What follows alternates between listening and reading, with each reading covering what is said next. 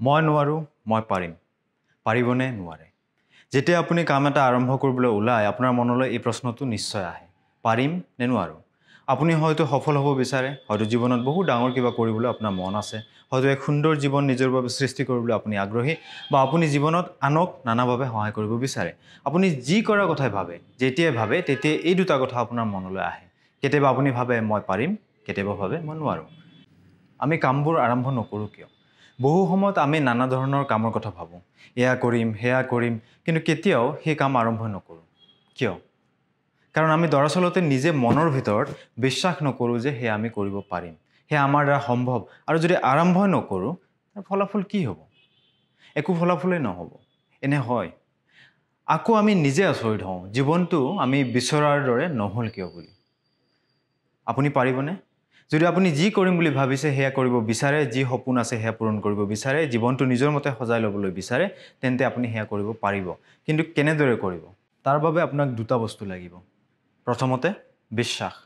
আৰু দ্বিতীয়তে চেষ্টা বা কাম কৰি যোৱাৰ অভ্যাস। বিশ্বাস। বিশ্বাস সেইবাবেই লাগিব কাৰণ যদি আপুনি নিজেই বিশ্বাস নকৰে এই সপোনবোৰ পূৰণ হ'ব বুলি আপুনি কামটো কৰিব পাৰিব বুলি তেন্তে আপুনি কামটো কৰিব নোৱাৰে। কিয় হয় এনেকুৱা? কাৰণ আপোনাৰ বিশ্বাসে থিৰাং কৰে চিন্তা আৰু ব্যৱহাৰ কেনে হ'ব? আপোনাৰ মনৰ ভিতৰত যদি বিশ্বাস এটা আছে যে আপোনাৰ কাম নাই আপোনাৰ মনলৈ অহা চিন্তাবোৰ তেনেকুৱাই হ'ব। লগতে আপোনাৰ ব্যৱহাৰবোৰো এই বিশ্বাসৰ মতেই হ'ব। আপুনি সঁচাকৈ কাম নোহোৱা মানুহৰ দৰে ব্যৱহাৰ কৰিব। আপোনাৰ ব্যৱহাৰবোৰ সদায় আপোনাৰ বিশ্বাসৰ লগত একাত্ম হ'বই লাগিব। সেইবাবে যাৰ মনত বিশ্বাস আছে যে ঘোচ খোৱা বা ভেটি খোৱাটো বেয়া তেনে তেওঁ টকা পইচা আগবঢ়ালেও তেওঁ সেয়া গ্ৰহণ কৰিব নোৱাৰে। আৰু গ্ৰহণ কৰিব লগা হ'লেও মনত অশান্তি পায় লাজ পায় গ্লানি অনুভৱ কৰে। আনহাতে যাৰ মনত এনে বিশ্বাস নাই তেওঁ দুই নম্বৰী কৰাটোত বা পইচা লোৱাটোত ঘোচ খোৱাটোত একো চিন্তা কৰিবলগীয়া বিচাৰি নাপায়।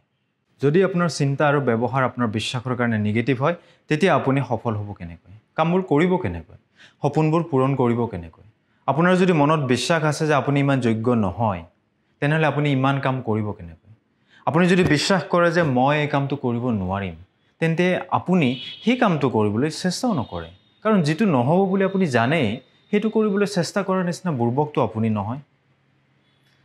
কামটো আৰম্ভ কৰিলেও আপুনি জানো নিজৰ সমগ্ৰ শক্তিৰে সেই কামটো কৰিবলৈ আগবাঢ়িব যিটো কাম হোৱাৰ কোনো সম্ভাৱনা নাই বুলি আপুনি বিশ্বাস কৰে নকৰে।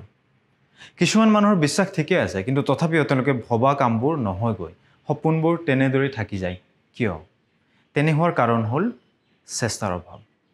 চেষ্টা বিশ্বাস আপোনাক লাগিবই কিন্তু অকল বিশ্বাস কৰি ঘৰতে বহি থাকিলে কামবোৰ নিজে নিজে হৈ যাবনে? আপুনি যদি একো কাম নকৰে বা একশ্যন নলয় তাৰ পৰা একো ফলাফলো নাপায়। আপোনাৰ কিতাপ এখন লিখিবলৈ বৰ মন গৈ আছে কিন্তু লিখাহে হৈ উঠা নাই। কেতিয়াবা বাধা বা প্ৰতিৰোধৰ বাবে কেতিয়াবা মনলৈ আইডিয়া নহাৰ বাবে কেতিয়াবা লিখিবলৈ মন নোযোৱাৰ বাবে কেতিয়াবা ভাগৰ লগাৰ বাবে মুঠতে কিবা নহয় কিবা কাৰণত আপোনাৰ কামটো কৰা নহয়গৈ। এনে প্ৰতিদিনে হয়। গতিকে কিতাপখন লিখাও নহয়গৈ। আপোনাৰ এক সাংঘাতিক জনপ্ৰিয় গায়ক বা গায়িকা হ'বলৈ মন আছে কিন্তু তাৰ বাবে বহুত কষ্ট কৰিব লাগে। কাৰণ শ শ হাজাৰ হাজাৰ ঘণ্টা অভ্যাস ৰেয়াজ কৰিব পিছতহে একো একোজন ভাল গায়ক গায়িকাত জন্ম হয়। ইমান কষ্ট আপুনি কৰিব নোৱাৰে। গতিকে জনপ্ৰিয় গায়ক বা গায়িকা হিচাপে আপোনাক আমি এতিয়ালৈকে চিনি নাপাওঁ। আপোনাৰ গানো আজিলৈকে শুনা নাই। কামটো কৰি আপুনি ভবা ফলাফল পাওক বা নাপাওক কামটো কৰিবলৈ যে আপুনি আগবাঢ়িছে সেয়া ডাঙৰ কথা। কাৰণ ই বুজায় যে আপুনি আজি নোৱাৰিলেও কামটো যে আপুনি এদিন নহয় এদিন কৰিব পাৰিব সেই লৈ আপোনাৰ মনত কোনো ধৰণৰ সন্দেহ নাই। আপুনি বিশ্বাস কৰে যে আপুনি কামটো কৰিব পাৰিব আৰু তেতিয়া সেই বিশ্বাসেৰে কামটো কৰি গৈ থাকিলে এদিন নহয় এদিন আপুনি কামটো কৰিবই। একেবাৰে বিচৰা ফলাফল নহ'লেও তাৰ ওচৰে পাজৰে হ'লেও ফলাফল আপুনি লাভ কৰিবই। ধৰি লওক আপুনি ইংৰাজীত কথা ক'ব নাজানে কিন্তু আপোনাৰ খুব মন আছে এদিন নহয় এদিন আপুনি সলসলীয়াকৈ ইংৰাজীত কথা ক'বই। নিজৰ ওপৰত আপোনাৰ বিশ্বাস আছে। আপুনি উপায় বিচাৰিলে আৰু সেই উপায়টো পোৱাৰ পিছত প্ৰতিদিনে মাত্ৰ আধা ঘণ্টা সময় ইংৰাজীত কথা কোৱা অভ্যাস আৰম্ভ কৰিলে। সেই টেকনিকটো বা উপায়টো অৱলম্বন কৰি। এনেদৰে যদি মাত্ৰ ছমাহ কৰি গৈ থাকে কি হ'ব? এনে অভ্যাস যদি আপুনি এবছৰ কৰে?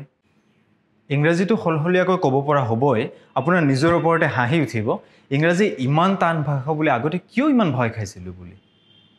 হয়তো আপুনি এটা কাম এশবাৰ বা এহেজাৰ বাৰ অভ্যাস কৰিব লাগিব সেই কামটোত ভাল হোৱাৰ বাবে বিচৰা ফলাফল লাভ কৰাৰ বাবে।